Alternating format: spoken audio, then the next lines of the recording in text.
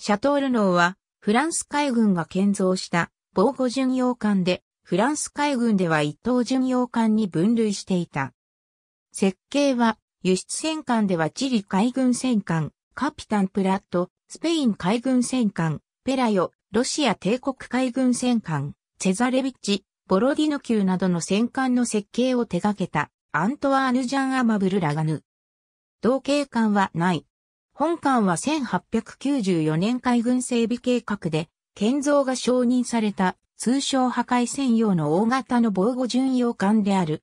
外観を欺瞞するため、当時の客船に似せるために垂直型の艦首形状、等間隔に並んだ4本煙突、平ら甲板型の船体形状、小船型のカウンター型艦尾などを採用したために、同世代のフッツ防護巡洋艦とは一線を画す外観となっている。細かい偽装では、背の高い前後の短脚式のマスト、クレーンを使わず、3組のボートダビットで艦載艇を原則に吊るすなど徹底している。本艦の武装と装甲の配置を示した図。船体形状はフランス巡洋艦で長らく主流となってきたタンブルホーム式の船体を採用せず、没個性的な平ら甲板型船体となった。基本的に高い還元を持つ船体は、外洋でのしのげ波性は良好であった。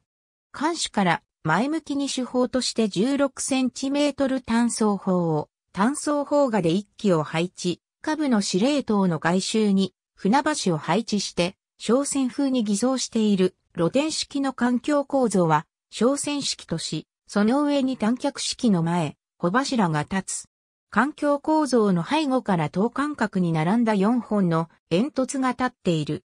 本艦は通称破壊船に使用するため、計画速力23ノットを狙ったが、公身において18ノット21ノットの速度間で船体後部が振動するトラブルがあったが、2年後の竣工にはトラブル解消して計画速力を凌駕する24.18ノットの瞬速を発揮した。煙突の周囲は関西艇置き場となっており、関西艇用のボートダビットが2本1組で、片弦3組で、計6組が設置された。4番煙突から、後ろは、完備甲板で簡便な短脚章、後部船橋、後ろ向きに、主砲1機が配置された。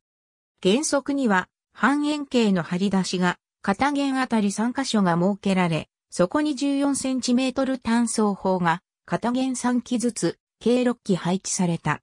第一次大戦中に、戦乱護衛にあたる本艦。右側のは、スパヒ旧駆逐艦、マムリュク。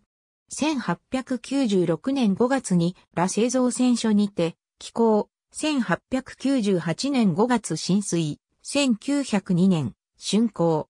1917年12月14日に、ドイツ海軍潜水艦 UC38 の雷撃を受けて撃沈された。ありがとうございます。